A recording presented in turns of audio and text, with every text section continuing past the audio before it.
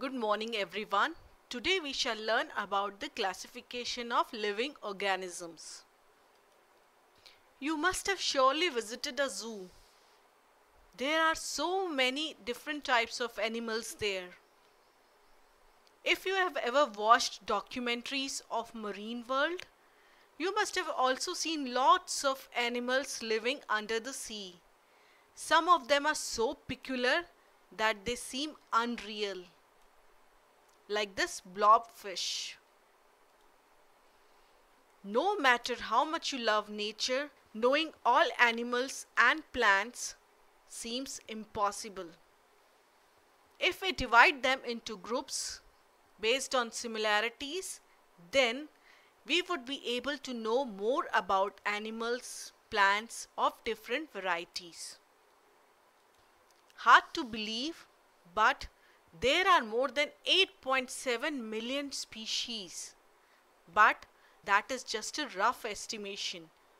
Obviously, we need broader categorization than species, which brings multiple species having too many similarities under one category. Actually, there is such classification system that covers all living organisms within very limited but defined categories. All living organisms are classified and identified based on their basic body design, in form and function. You know, animals have undergone a wide range of changes throughout the ages to adapt to the changing environment and survive.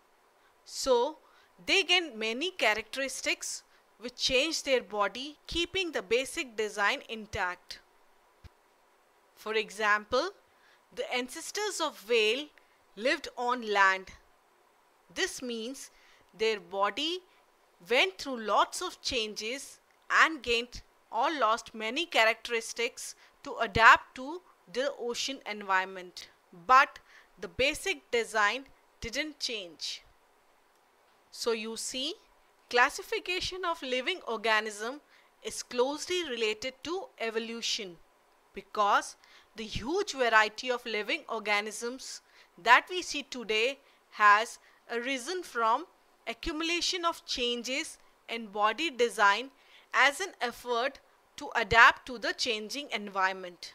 So, for more efficient classification, we have to look at their origin, and similarities and basic characteristic because many species have arisen from single origin and different animals have gone through different kinds of changes during evolution but their basic body structure and few characteristics remain the link between them. Biologists such as Ernst Haeckel, Robert Whittaker and Carl Woese have tried to classify all the living organism into broad categories called kingdoms. And what was the basis of classification? It was their cell structure, mode and source of nutrition and the body organization. The classification that Whittaker proposed has five kingdoms Monera, Protista, fungi, plantae and animalia. But still, organisms of a kingdom have so wide-ranging distinct characteristics that kingdom had to be further divided to do the justice.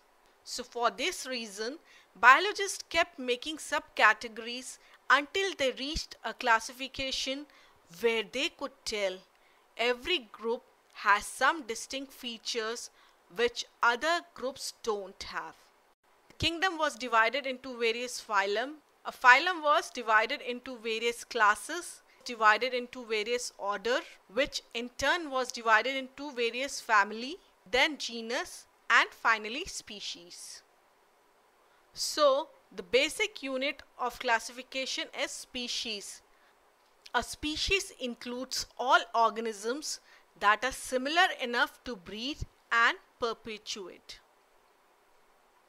If we go one or two level up in this hierarchy, we will still have proper categorization which does justice to the diversity of organisms, yet link them properly to bring them under the same group. The basic unit of classification is species. Broadly, a species includes all organisms that are similar enough to breed and perpetuate. So now you understand why classification of living organisms is needed. It is needed because it gives us better knowledge and understanding of organisms that are studied. It helps to study the organisms in a proper and systematic manner. It helps us to make comparison in an easier way. It helps us in understanding the relationship among the organisms and their interdependence. So, classification makes our study more focused and helps us to handle huge population of organisms. Lastly, it gives us an idea of evolution, that is, how organisms have evolved in nature by adapting themselves to the changing environment. So now you know why and how classification of living organism was done in general. The detailed classification we shall study in the next class. Till then, bye-bye.